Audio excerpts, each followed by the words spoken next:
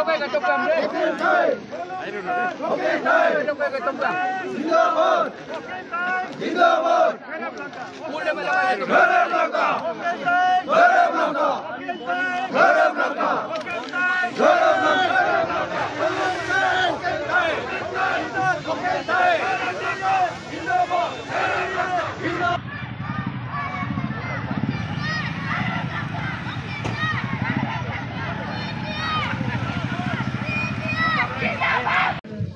Saref, Anie, Bumenge, Ngolu, Dakken Kaimang, Burdiken Kaimang, Lengken Kaimang, Inameno, Depe, Kong Ngolu Daki Pelagi, Name, Noluk Miksi, Noluk Duk Apure, Kong Apure, Kong Ekdom, Bodelong Ko, Efekat.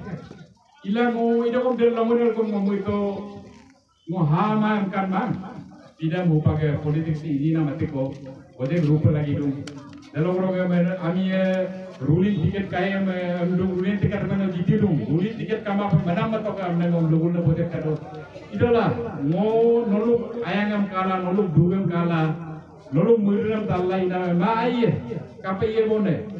Amiru ko kama pun odak ke biya nango polis sudah sikap nolong nolong kara ko nak tunggu.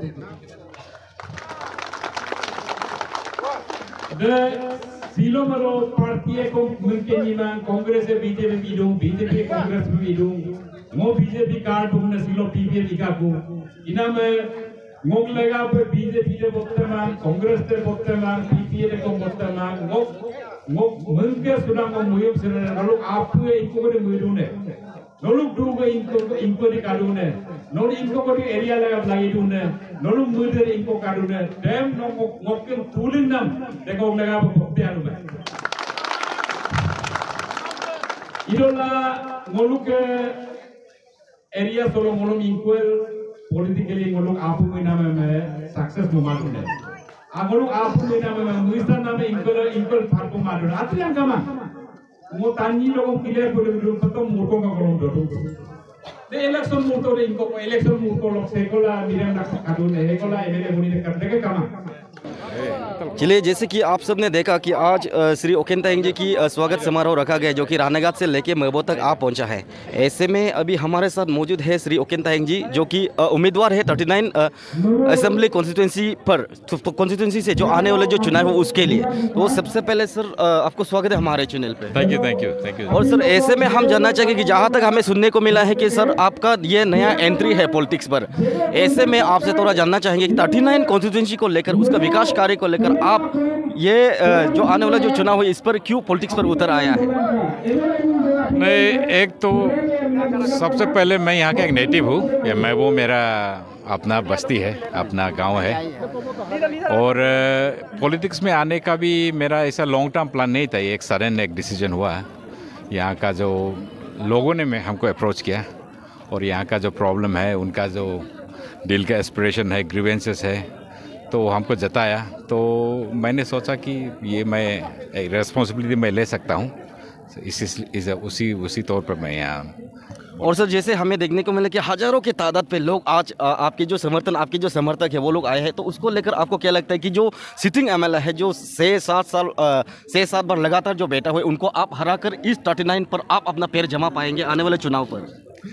नहीं, मेरा M उनको हराना नहीं है। मेरा M है कि मैं I want to represent the people I want to represent the voice of the people तो उन, उनको हराना या हमको जितना, वो इम्पोर्टेंट नहीं है। इलेक्शन में तो एक हारेगा, एक जीतेगा, लेकिन पब्लिक का जो वॉइस है पब्लिक का जो एस्पिरेशन है, उन, उनने जो रेस्पॉन्स ये जो उनका जो वॉइस को मेरे ऊपर जो रेस्पॉन्सिबिलिटी दिया है उनको मैं बहुत सीरियसली लेता हूँ, मैं उस पर प्रा- मैं प्राउड भी लेता हूँ और एक बड़ा, बहुत बड़ा रेस्पॉन्सिबिलिटी भी है। और जब सर चुनाव की माहौल है तो किसी भी उम्मीदवार की जब हम बात करते हैं तो उसका कुछ ना कुछ मैनिफेस्टो होता है, कुछ ना कुछ उसका सपना होता है कि अपना कॉन्स्टिट्यूंसी को लेकर, उस पर विकास कार्य की बात करो या फिर इंफ्रास्ट्रक्चर की बात करो, ऐसे में आपका कौन सा प्रायोरिटी फ़र्स्ट प्रायोरिटी रहेगा कि अगर आने वाले चुनाव, जो विधानसभा चुनाव उस पर अगर आप जीत हासिल कर, यहाँ के स्थानीय विधायक बनता है तो?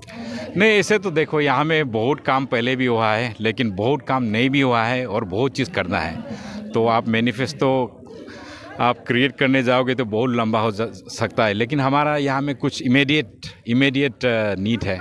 तो एक तो हो गया हमारा जो सियांग से जो हमारा एरिया को डैमेज हो रहा है, उसका प्रॉपर प्रोटेक्शन उसका जो कैसे उसको एक बिल्कुल परमानेंट प्रोटेक्शन हो।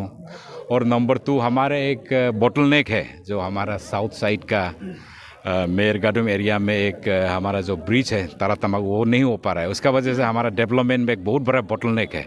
तो वो एक है। और हमारा जो रोड है, यहाँ से आसाम थ्रू मेरगाडुम तारा तमाग रोड इसको हम लोग यहाँ से जैसे डिब्रूगढ़ टू आवर्स में पहुँच सके। सारा अरुणाचल में ये डेवलपमेंट आ गया रोड कनेक्टिविटी ये हमारा एक बहुत ही शॉर्ट कमिंग है। ये हमारा तीन इमीडिएट चीज़ है। और बाकी बहुत, मेरा दिल में बहुत है। अभी बोलने से बोलते जाएँगे लेकिन टूरिज़्म सेक्टर में करना है एग्रीकल्चर हॉर्टिकल्चर में करना है हेल्थ सेक्टर में करना है एजुकेशन में करना है। तो उसको हम अगर मैं जीत गया ये इलेक्शन तो प्रेगमेटिकली सिस्टमेटिकली एक एक करके उसको जो है अ, काम शुरू करेंगे। और जहाँ तक आपकी समर्थकों की बात है उन लोगों से हमने बात विवाद करने की कोशिश की। उनके द्वारा हमें सुनने को मिला है कि यहाँ पर पास जो अ, महबो है यहाँ पर एक बहुत ही बड़ा समस्या है जो फायर स्टेशन को लेकर है। तो उन लोगों से हमने जाना कि पास अगर यह महबो पर पासीघाट एक फायर स्टेशन होता तो शायद उनके लिए उनके लिए आने वाले दिनों में भी बहुत सुविधा उन लोगों को उपलब्ध करवा सकता है। ऐसे में हमें सुनने को मिला है कि आज तक यहाँ पर जितने भी कोशिश किया है एक बार भी यहाँ पे फायर स्टेशन जो सेटअप नहीं हो पाए ऐसे में आप अगर जीतता है तो आपके लिए उन उन आपके जो समर्थक है, उनके लिए आप ये फायर स्टेशन को लेकर कौन से आगे स्टेप लेंगे सर देखिए, ये फायर स्टेशन स्कूल और हेल्थ ये तो बहुत ही हमारा बेसिक प्राइमरी बेसिक फैसिलिटी है, जो होना चाहिए, हर एक जगह में होता भी है। तो ये हमारे यहाँ में क्यों नहीं है, मैं ये समझ नहीं पा रहा हूँ। लेकिन ये बहुत ही सिंपल सोल्यूशन है। जैसे फायर यहाँ में बहुत कमन है। एवरी विंटर हमारे यहाँ फायर एक्सीडेंट होता है। लेकिन ये हमारा वेरी एलिमेंट्री फैसिलिटी होता है। तो ये जो है सॉल्व करने के लिए इतना ये प्रॉब्लम वाला चीज़ नहीं है। तो फायर फायर एक्सीडेंट तो एवरी विंटर होता है, लेकिन उसका जो एक्सेसिबिलिटी होना चाहिए। जब आप फायर को कॉल करोगे, जो भी one zero zero one zero two तो आपका जो है टाइम में नहीं पहुँचने से कोई फ़ायदा नहीं। आप आग, घर जलने के बाद में आपका फायर ट्रक पहुँचने से उससे कोई फ़ायदा नहीं। तो उसको जो है एक्सेसिबिलिटी आपका ड्यूरेशन तो उसमें इंफ्रास्ट्रक्चर की बात आता है। अभी जैसे मेयर गार्डन में एक आग लग गया तो यहाँ पहुँचते पहुँचते वो घर ख़त्म हो जाएगा। तो इसलिए everything one one step at a time तो इंफ्रास्ट्रक्चर ठीक होगा तो ये फायर सर्विस होगा, उसके साथ में हेल्थ सर्विसेज़ एजुकेशन सब एक साथ में जाना होगा टेंडम में। और सर, आखिरी में एक सवाल, जैसे हमने देखा कि राहनेगात से लेके यहाँ महबू पहुँचने तक आपके जो समर्थक है, आपकी जो सपुत्र है, वो हज़ारों की तादाद पे आए हैं। और ऐसे भी लोग होंगे जो आपको मन से चाहता होगा, लेकिन आज आपके समारोह पर उपस्थित नहीं हुआ उन लोगों के लिए आपका आखिरी मैसेज क्या रहेगा, सर? नहीं बहुत लोग जो है फ़िज़िकल प्रेजेंस होने के लिए किसी का लिमिटेशन होता है किसी का कोई बीमार हो गया। हमको कॉल भी किया कि हम आ नहीं पाएँगे मेरा ये ऐसा हो गया वो ऐसा हो गया। लेकिन वो उनका जो दिल का प्यार हमें जो जताया वो तो हमारे पास है। हम जैसे आज चल रहा था उनका जो प्यार और उनका जो सपोर्ट मेरा साथ है। तो ये नंबर तो मैं अनएक्सपेक्टेड तादाद में आज निकला है तो मेरे बहुत ही बहुत ही गर्व सर एक सवाल इतने हज़ारों की तादाद में लोग आपके समर्थन आए हैं तो आपका उन लोगों को देख के आपका विनिंग इसको क्या है सर? मेरा विनिंग तो उनका हाथ में है। अगर ये जोश रहे एक ही महीना बचा है ये ये इसको हम लोग अभी बरकरार रखने से विनिंग तो बिल्कुल नहीं होने का कोई सवाल ही नहीं है। चलिए धन्यवाद सर हमसे बात करें थैंक यू थैंक यू चलिए ये रहा जो श्री ओकेन ताइंग जी से हमने जाना, उनसे बात करके। अगर वो आने वाले जो विधानसभा चुनाव है, अगर वो उस पर जीत हासिल कर कर यहाँ के स्थानीय विधायक बनता है तो यहाँ के लोगों के लिए उनका विकास कार्य को लेकर कौन कौन से आगे स्टेप लेंगे, वो हमने उनसे बात कर कर जाना। ऐसे ही हम अभी इलेक्शन की, अभी हम विधानसभा चुनाव की बात करेंगे तो अभी चुनाव की माहौल है तो ऐसे में चुनाव की माहौल, चुनाव की बू आना बहुत ही ज़रूरी होता है। ऐसे में हम लगातार कोशिश करते हैं कि हमारे प्रदेश के कोने कोने पर चल रहे हैं विधानसभा, जो चुनाव के, उसके माहौल को आप लोगों तक दिखाने की कोशिश हम लगातार कर रहे हैं। ऐसे ही खबर देखने के लिए आप लोग देखते रहना और बने रहना मैं अनंत बोरांग अरुण दुमे।